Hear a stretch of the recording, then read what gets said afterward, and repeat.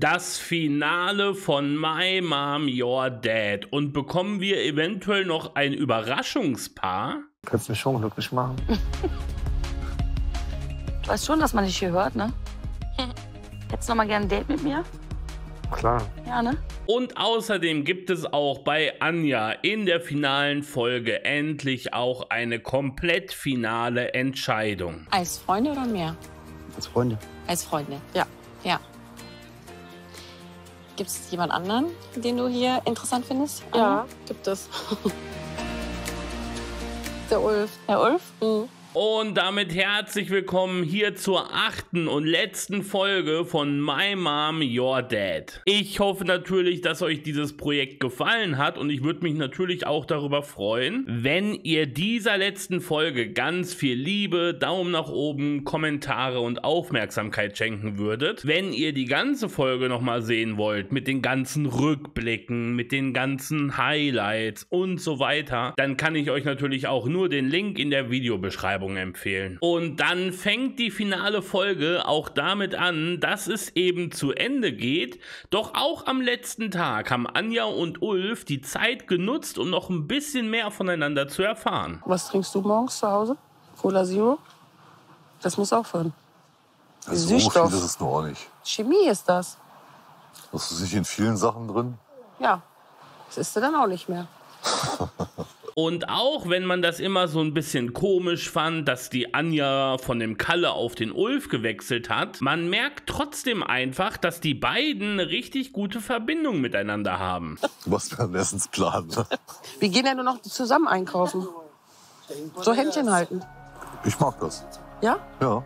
Ich mag das auch. Das ist kein Scherz Nee, gewesen. Wirklich. Und auch wenn es um das Thema Knutschen geht, sind sie einer Meinung und ich hoffe wirklich, dass sie trotzdem noch, falls es am Ende vielleicht doch was werden sollte, ein bisschen Zeit zum Atmen finden. Ich mag das einfach, wenn man gemeinsam einkauft. Ja. Ich will ja auch viel küssen. Ne? Ich finde auch Küssen toll.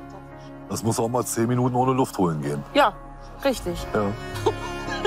Und auch wenn viele das vielleicht schade finden, dass Kalle am Ende nur in der Friendzone gelandet ist, das Ganze mit Anja und Ulf sieht wirklich sehr, sehr gut aus. Ich finde sie sehr hübsch. Hat sehr hübsche Augen. Er ist ja ein attraktiver Mensch und äh, ist ja auch super liebt und er scheint ja auch nicht eingefahren zu sein mit seinen Dingen und würde sich ja anscheinend auch auf eine Frau einstellen. Und auch wenn die beiden noch keine richtig klaren Bekenntnisse abgegeben haben, das Gefühl zwischen den beiden, das ist auch schon auf der richtigen Ebene. Ich weiß ja nicht, wie Ulf dazu steht, ne? Also ganz genau sagt das ja noch nicht, aber ich habe wirklich den Eindruck, das könnte ernster werden, ja. Ja, ich habe Interesse daran, Anja weiter und besser kennenzulernen. Aber nicht nur für die Eltern ist es der letzte Tag, auch für die Kinder ist es eben der letzte Tag und auch da stehen alle Zeichen natürlich auf Abschied. Im Prinzip ist es, glaube ich, für uns alle hier eine aufregende Zeit gewesen. Wir nehmen viel mit und werden das, glaube ich, auch in Erinnerung behalten, alles. Und das fällt den einen natürlich ein bisschen schwerer als den anderen. Einig sind sie sich aber alle, das war eine wirklich richtig tolle Zeit. Ich hätte auch niemals gedacht, dass wir so gut harmonieren alle zusammen. Ja. Safe, safe. Und das kann ich mir auch richtig gut vorstellen. Ich glaube, das macht auch einfach extrem viel Spaß, an so einem schönen Ort zu sein, dann irgendwie noch mit Menschen, mit denen man richtig gut auskommt. Dazu bekommt man ja auch irgendwie alles gestellt. Man muss sich einkaufen gehen, man hat alles da. Man hat einen Pool, man hat schönes Wetter. Das ist wahrscheinlich so richtig auch so ein bisschen Urlaub, äh, Klassenfahrt-Feeling und das macht doch eigentlich auch immer Spaß. Aber auch die Eltern wollen natürlich noch ein bisschen Spaß haben und da gibt es eine letzte Party. Liebe Eltern, Abkühlung gefällig? Ja. Macht euch bereit für eine Poolparty unter der griechischen Sonne. Lasst es krachen, denn so jung kommen wir alle nicht mehr zusammen. Und das ist, denke ich, auch ein wirklich guter Abschluss gewesen. Vor allen Dingen ist eine Poolparty ja auch nochmal ein bisschen freizügiger und eventuell kommt man da auch nochmal ein bisschen anders in Berührung. So eine Poolparty bricht natürlich auch noch mal so ein Eis, ne? Man springt ins, ins Wasser und ähm, dann trifft man sich Haut an Haut. Es gibt natürlich auch noch mal ein ganz anderes Gefühl, ne? Und dann kann man ja auch schön zusammen auf diesen äh, Luftmatratzen oder auf den äh, Einhörnern oder Wassermelonen liegen. Und diese Zeit haben zwei Personen dann wirklich auch ganz, ganz, ganz, ganz intensiv benutzt. Besonders Ulf und Anja nutzen die Gelegenheit zum Flirt-Endspurt. Normalerweise hätte ich jetzt mit Bildern gerechnet von Carsten und Alexandra, aber bei denen hat man nicht so das ganz krasse Gefühl, dass es so richtig am Prickeln ist. Bei wem es aber vielleicht doch auch ein bisschen am Prickeln ist, das ist der Dennis und die Tanja. Kannst mich schon glücklich machen. Du weißt schon, dass man dich hier hört, ne? Hättest du noch mal gerne ein Date mit mir? Klar. Ja, ne? Fandst du ausgezeichnet, ne? Ich bin auch der Meinung, wir sollten echt ans Siegerpaar hier rausgehen. Jetzt auf. Aber bei den beiden ist halt auch das Problem, dass man nie zu 100% weiß, was meinen die jetzt wirklich ernst, was meinen die eventuell auch nur zum Spaß und so richtig, wirklich intensiv, ehrlich, da hat der letzte Schritt dann doch ein bisschen gefehlt. Kannst du mich am Arm streicheln wenigstens? Nein, Okay. Ich habe ja noch Fragen, du, Alter. nein. Du hast äh, schon eine minimale Chance, mich zu erobern. Also musst du schon ernst nehmen. Aber das Finale ist natürlich auch dafür da, dass die Kinder noch einmal, ein letztes Mal Einfluss nehmen können. Und wir haben in der Villa ja noch vier Männer und vier Frauen. Und deswegen durften die Kinder bestimmen, wer jetzt das Abschlussdate miteinander verbringen darf. Am ersten Tisch nimmt bitte Anja und Kalle Platz. Obwohl auch Ulf neuerdings mit Anja flirtet, glauben die Kinder weiterhin, dass Kalle am besten zu ihr passt. Und an der Stelle hätte man jetzt natürlich auch Anja und den Ulf hinsetzen können. Denn bei den beiden ist es ja schon so ein bisschen am Prickeln.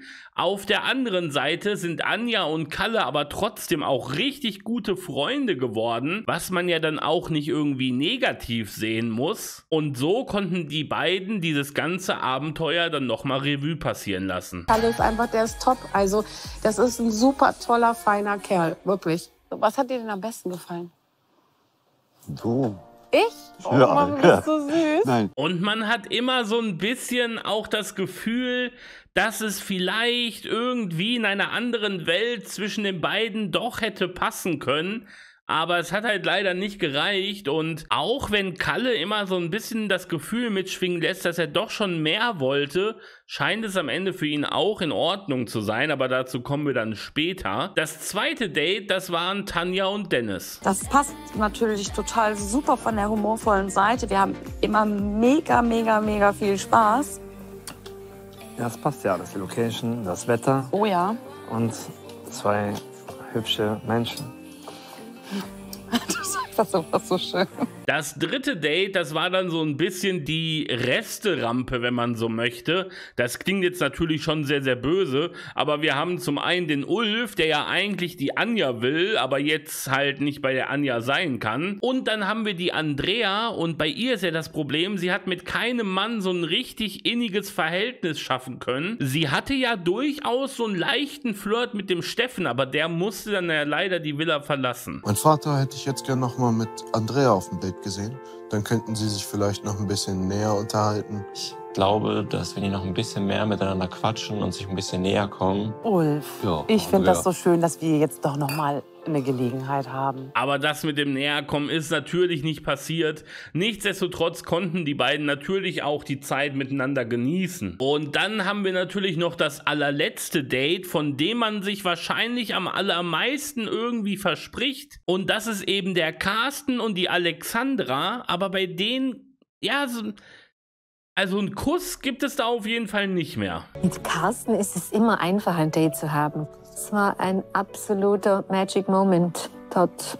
Wunderschön. Und auch wenn Alexandra das so erzählt, mir fehlt da wirklich die letzte Überzeugung. Ich weiß nicht warum, aber irgendwie sehe ich bei den beiden einfach nicht, dass es wirklich ernst wird. Aber nichtsdestotrotz hatten natürlich alle richtig viel Spaß und auch Tanja und Dennis, die sind schon ein bisschen traurig, glaube ich, dass das ganze Experiment vorbeigegangen ist. Ja, wenn wir die Villa verlassen werden morgen, Wir werden auf jeden Fall Kontakt halten. Ja, das definitiv. Ja, und dann auch gerne mit Kindern mal. Wollte ich gerade sagen. Und da kann man auf jeden Fall gespannt sein, ob es bei den beiden dann noch für mehr reicht oder ob es am Ende auch einfach eine gute Freundschaft ist. Genauso wie bei Kalle und Anja, die aber auch die Zeit wirklich richtig gut miteinander genießen. Das waren echt schöne Abende. Also das werde ich vermissen. Zusammen mit dir, Kalle, ne? Was gibt Schöneres?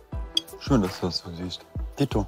Ne? Herrlich. Ein toller Abschluss, finde ich, das für unsere gemeinsame Reise, die wir gemacht haben. Und ich muss euch ganz ehrlich sagen, ich finde den Kalle sehr, sehr sympathisch, aber ich finde auch die Anja eine super Frau, die ist so unterhaltsam, ne? die redet viel, mit der kann man bestimmt sehr viel Spaß haben. Und die Anja ist auch eine emotionale Frau und dieses ganze Thema Abschied, das ist ihr dann doch richtig nahe gegangen. Und heul ich gleich. Ich muss gleich heulen. oh mein Gott. Ich muss echt heulen, kein Scheiß. Bei Alexandra und Carsten ist es tatsächlich jetzt so, dass die Alexandra von sich aus mal darüber redet, dass sie sich im Nachhinein dann doch miteinander auch auseinandersetzen werden, auch wenn es sich wieder nicht so unfassbar euphorisch anhört. Und dann dürfen wir mal gespannt sein, wie das mit uns dann eventuell noch weitergeht. Du bist ja eine tolle Frau. Hm, du bist auch ein toller Und Typ. ich, und ich will dich ja wiedersehen. Hm, das machen wir auch. Und ich weiß nicht, das ist natürlich auch ein bisschen Alexandras Art und ich will da auch nicht zu viel reininterpretieren und sie ist auch vollkommen okay, so wie sie ist. Aber sie hätte auch einfach sagen können, ich will dich auch wiedersehen und nicht, ja, das machen wir dann. Aber irgendwie ist bei Alexandra immer so ein bisschen auch diese zurückhaltende Art sehr, sehr stark. Und das Ende bleibt auf jeden Fall dran, aber das kann ich euch jetzt schon mal sagen, das ist wirklich nicht sehr befriedigend. Weiter ging es dann allerdings nach diesen Dates trotzdem noch in der Villa ein letzter Abend und dieser letzte Abend, der wurde dann nochmal mit ein bisschen Karaoke gefeiert. Oh, Dennis hat aber Spaß. Ich weiß gar nicht, wohin gucken. Jimmy Quick, Johnny got married.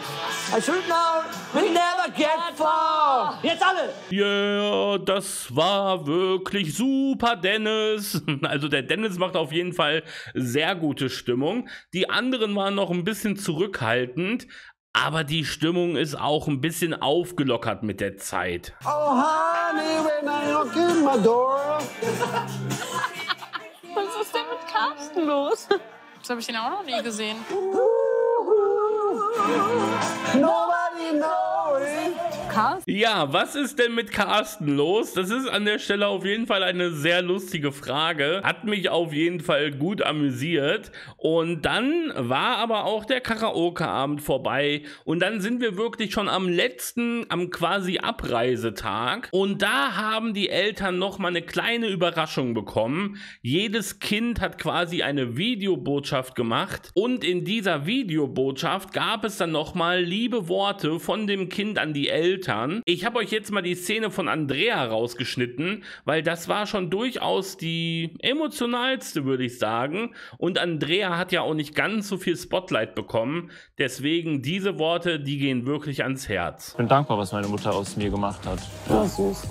Und was ich meiner Mutter immer schon mal sagen wollte, ist, dass ich unglaublich dankbar dafür bin, dass sie immer auf meiner Seite steht. Egal was ist, sie ist immer auf meiner Seite und unterstützt mich bei allem. Oh, schön. Ja, sehr schön.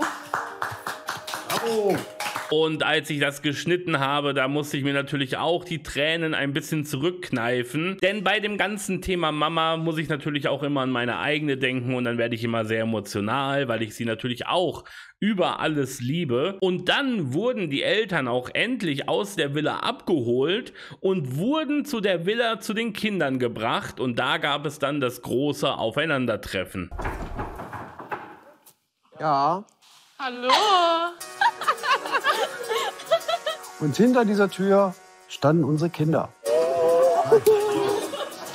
Das war, gef- also ich war geflasht oder ich bin immer noch geflasht. Und das Aufeinandertreffen war natürlich wunderschön für alle Beteiligten. Sie haben sich alle sehr gefreut. Auf der anderen Seite haben sie natürlich auch dann erfahren, dass sie die ganze Zeit beobachtet worden sind. Und das war wiederum schon, ja, für den einen oder anderen auch eine kleine Überraschung. Wir waren alle hier die ganze Zeit und haben alles gesehen. Wir waren die Experten. Zu wissen, dass die Kinder unsere Dating-Experten waren. Ähm, weil wir haben immer gedacht, wer, wer ist denn das? Wer, wer, entscheidet das denn? Oh Gott, was für Experten. Da musste der ein oder andere dann vielleicht auch mal ein bisschen darüber nachdenken, ob er vielleicht was Peinliches gemacht hat. Aber seien wir ganz ehrlich, das konnte man sich alles richtig gut angucken. Da muss sich wirklich jetzt niemand groß schämen. Und ich denke, für alle Beteiligten war das am Ende des Tages auch einfach eine richtig schöne Zeit. Ja, das Sari mich die ganze Zeit natürlich beobachtet oder die Kinder allgemein uns die ganze Zeit beobachtet haben. Das ist natürlich jetzt echt krass. Da hat natürlich gar keiner von uns mit gerechnet. Ich habe gedacht, ich muss jetzt alles berichten und erzählen, was so passiert ist. Und deswegen waren auch alle Beteiligten froh und glücklich und alle Beteiligten waren auch wirklich froh, über die Erfahrungen, die sie machen durften. Im Großen und Ganzen war das eine mega geile Zeit, die uns für immer in Erinnerung bleibt. Ja, ich sehe es genauso. Also ich würde das immer wieder machen. Ich habe hier keine Sekunde bereut. Also wirklich keine einzige. Und dann kommen wir nochmal zu einem letzten Gespräch. Wir hatten ja schon das letzte Date, aber dann gab es nochmal so eine Aussprache mit den Kindern, mit den Eltern und mit Amira Pocher. Und ich muss euch ganz ehrlich sagen, es war auch alles wieder ein bisschen in die Länge gezogen. So ein paar Dinge wurden auch fünfmal gesagt und es war manchmal ein bisschen, man hätte es eventuell ein bisschen kürzer und kompakter oder eventuell doch mit ein bisschen anderen, spannenderen Inhalten füllen müssen. Aber nichtsdestotrotz war die letzte Folge natürlich auch ganz schön. Und eine Frage, die beschäftigt mich natürlich auch extrem. Werden sich Alexandra und Carsten wiedersehen? Werdet ihr euch draußen wiedersehen? Mein Bestreben ist es, dass wir es machen. Das ist jetzt für mich kein Problem, die Entfernung. Also von daher gerne. Ja, ich denke, dass wir uns auf jeden Fall treffen werden. Auf jeden Fall. Und ja, ich würde mich schon freuen, auch wenn ihr beide dann einfach mal ja. zu uns kommen würdet. Und dann können wir das auch alles nochmal Revue passieren lassen. Ja. Und ich sage euch ganz ehrlich, natürlich, die kennen sich jetzt auch erst seit ein paar Tagen. Aber die mögen sich, die sind wirklich sehr nah miteinander gewesen. Aber trotzdem spürt man das nicht so hundertprozentig. Und das finde ich schon alles in allem ein bisschen komisch. Und ich bin wirklich, also, ob das wirklich am Ende was geworden ist, ich weiß es nicht. Also auf jeden Fall gehe ich mit einem mit Freund nach Hause. Ja. Auch hier haben die Kinder sich wieder dazu entschieden, dass sie Anja und Kalle zusammensetzen. Und hier wurde dann auch ganz klipp und klar die Frage gestellt, ist Kalle jetzt in der Friendzone oder gibt es da eventuell doch noch ein bisschen Hoffnung? Aber die Antwort, die war eindeutig und klipp und klar. Als Freunde oder mehr? Als Freunde. Als Freunde, ja. Ja. Gibt es jemand anderen, den du hier interessant findest? Ja, gibt es. Der Ulf. Der Ulf? Mhm. Viele haben sich auch immer ein bisschen darüber lustig gemacht, weil die Anja ja auch gesagt hat, dass es vor allen Dingen auch wegen der Entfernung einfach ein bisschen besser ist. Aber auch jetzt am Ende sagt die Anja uns auch nochmal relativ deutlich, dass es nicht nur die Entfernung ist, weswegen der Ulf durchaus ein Favorit ist. Auch ihr Körper sendet eventuell die ein oder andere Nachricht, dass sie das Ganze ganz gut findet. Und da signalisiert mir mein Körper auf jeden Fall, was anderes als beim Kalle. Ist leider so. Also nimmst du das Gefühl für Ulf mit, wenn du nach draußen gehst. Ja. Und die letzte Frage bleibt natürlich auch noch bestehen. Lieber Dennis und liebe Tanja, wie sieht es bei euch aus? Werdet ihr euch draußen wiedersehen? Nein, also wir werden bestimmt in Kontakt bleiben, weil es echt witzig war. Aber ähm, ja, Verlieben geht nun mal nicht so von heute auf morgen. Und ja, ja das war uns auch von vornherein ja, ja, klar. haben wir auch gesagt. Also. Das waren auf jeden Fall sehr eindeutige Worte und das kann man natürlich auch verstehen. Zwischen den beiden ist jetzt erstmal nicht die große Liebe entfacht. Das hat man ja auch die ganze Zeit gespürt. Trotzdem werden die beiden sich wiedersehen. Das ist auch schon mal ein Anfang, auf dem man aufbauen kann. Und dann gab es tatsächlich das allerletzte, alle stehen zusammen, Amira Pocher hat dann auch noch eine Abschiedsrede gehalten. Die war auch nicht ganz so mega interessant. Die war auch wieder eher so ein bisschen langweilig. Und ich kann vollkommen verstehen, dass das für Amira Pocher und die Kandidaten in dem Moment natürlich schon eine sehr emotionale Situation ist. Und dass die sich alle sehr freuen und das vielleicht auch fühlen. Aber es ist nicht so richtig zum Zuschauer rübergekommen, weil die Amira auch wieder sehr viel vorgeschriebenes Blabla erzählt hat. Ein einziges Highlight gab es dann aber noch. Der Ulf hatte dann tatsächlich für jede Frau noch ein kleines Geschenk und er hatte aber noch ein größeres Geschenk mit dabei. Ein ganz besonderes Geschenk, was er der Frau schenken wollte, die sein Herz erobert. Und diese Frau hat er dann auch wirklich gefunden. Sehr hübsch bist du natürlich auch. Danke. Bitte. Und es würde mich freuen, wenn ich ein bisschen länger und ein bisschen tiefer mal in deine hübschen Augen gucken kann. Ohne Kameras. Danke. Und das war jetzt auf jeden Fall auch eine sehr direkte und wirklich ganz klare Ansage. Auch wenn es viele ein bisschen komisch fanden mit Anja und Ulf, zwischen den beiden scheint sich wirklich was entwickelt zu haben. Ja, wollte dir noch mal extra was Das ist übergeben. lieb von dir. Dankeschön. Und damit war das ganze Projekt dann wirklich zu Ende und natürlich war das ein schöner Moment und das waren die letzten Eindrücke. Der Abschluss war nicht nur gelungen, sondern es war wirklich einmalig. Äh, Es gibt nichts Besseres, als dann so eine Krönung zu erleben mit den Kindern, mit Amira. Äh, Das war einfach königlich, muss man ganz ehrlich sagen. Und damit ist dann die Zeit in der Villa von My Mom, Your Dad wirklich endgültig vorbei. Aber eine Kleinigkeit gab es noch. Es gab nämlich noch einen kurzen Zusammenschnitt, was dann so nach der Sendung in Deutschland passiert ist. Und die war wirklich sehr, sehr interessant. Ihr glaubt nicht, wer vor meiner Tür steht. Hier. Uh, Kalle. Die Clique um Anja, Tanja und Gudrun trifft sich regelmäßig und fast alle kommen.